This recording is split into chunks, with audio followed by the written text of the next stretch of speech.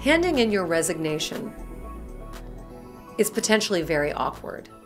Ending any relationship is awkward. That conversation just makes people squirm.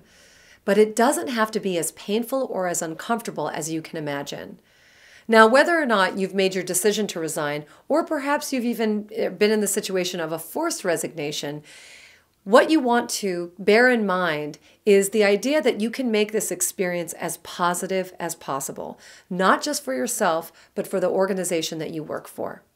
Now let's go back for a minute. Let's just bear in mind the fact that you were given an opportunity. It began great. You came in, you interviewed, you gave your best stuff, they saw the potential in you, they decide to hire you, they give you money, you exchange services, it's a business that's growing together, and then something happened, right?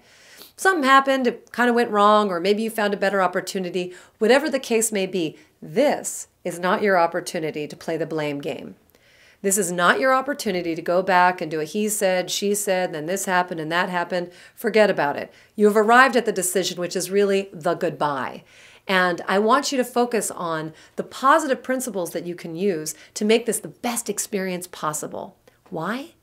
Because you never know where this relationship is going to go in the future.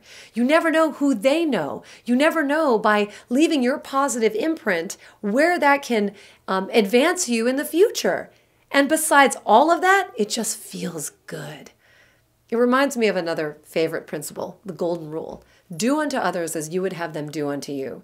The fact is, it's uncomfortable for you, it's uncomfortable for them. But imagine yourself in the opposite situation where you're the boss and someone is resigning. How would you want that experience to go down? Bear that in mind. Which brings me to my third point, which is mind your manners. This golden rule is it's golden because it's just so good.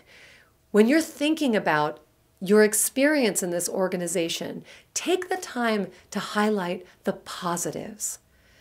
Acknowledge the fact that you did gain something um, by way of knowledge, experience, growth opportunities, and in that space of the resignation, give it a positive spin.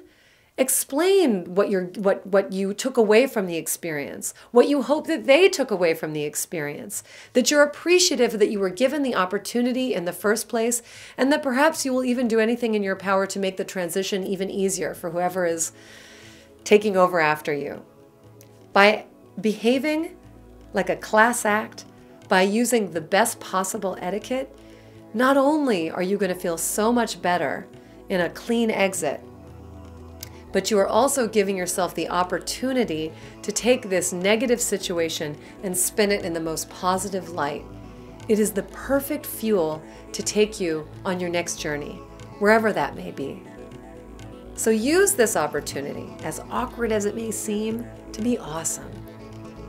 Inspire the people that are around you that there is a different way, that there is a way to sprinkle a little bit of light even when things get a little murky.